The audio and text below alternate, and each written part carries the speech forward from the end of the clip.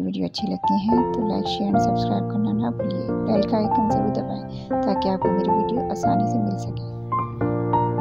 अस्सलाम वालेकुम कैसे हैं आप लोग सब? आज हम बना रहे हैं लौकी और मसूर की दाल। चलें, आइए शुरू करते हैं। इसके लिए जिन जिन चीज़ों की ज़रूरत है, वो आप नोट कर लें। मैंने यहाँ तकरीबन पाव मसूर की दाल ली है।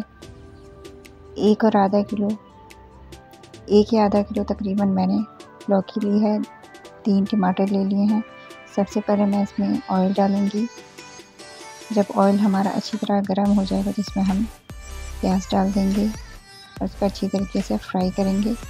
बहुत ज़्यादा फ्राई नहीं करेंगे, बस शैलो फ्राई करेंगे।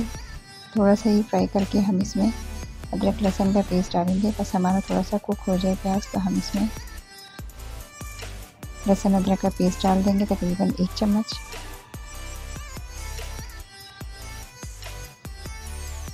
फिर इसको अच्छी तरीके से फ्राई करेंगे।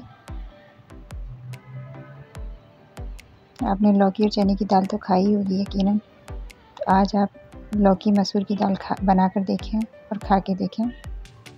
ये मैंने मसाले के नए डब्बे लिए हैं। बताइएगा आप कैसे लगे आपको?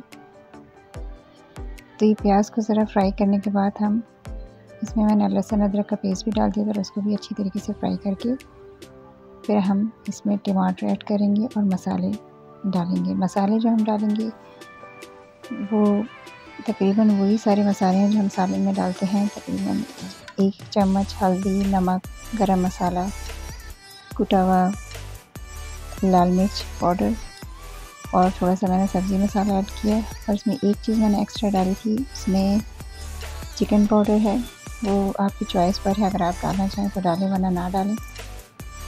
उसका फ्लेवर थोड़ा सा अच्छा आ जाता है और बच्चे आसानी के साथ सब्ज़ी खा लेते हैं, शौक से खाते हैं, खुशबू अलग आती है।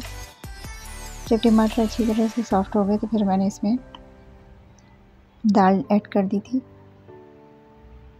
दाल के साथ ही फिर मैंने इसमें लौकी जो काट के रखी थी, वो भी मैंने इसमें डाल दी। इसमें मैं तकरीबन एक गिलास या आधे गिलास के करीब पानी डालूँगी।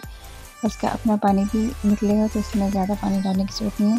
क्योंकि हमें ये सूखा सूखा सा बनाना है, हमें बहुत ज़्यादा शोरबे वाला नहीं बनाना है। आखिर में फिर मैं इसमें कसूरी मेथी शामिल कर रही हूँ। ये भी ऑप्शनल है, अगर आप डालना चाहें तो डालें, वरना ना डालें। इससे फ्लेवर और खुशबू बहुत ज़बरदस्त आती है, इसलिए मैंने इसमें ऐड किया है। ये आपकी अपनी चॉइस पर है, अगर आपको पसंद नहीं है तो आप इसको स्किप कर सकते हैं। इसको थोड़ा सा ढक के रख देंगे ताकि इसकी खुशबू इसमें आ जाए। देखिए, हमारा मज़ेदार सा लौकी मसूर की दाल तैयार है। इसमें थोड़ा सा धनिया छिड़क देंगे। प्लीज़, जो मेरे चैनल पे नए हैं, वो सब्सक्राइब करना ना भूलें। दुआओं में याद रखें, अपना बहुत सारा ख्याल रखें। इन मिलते हैं नेक्स्ट वीडियो में।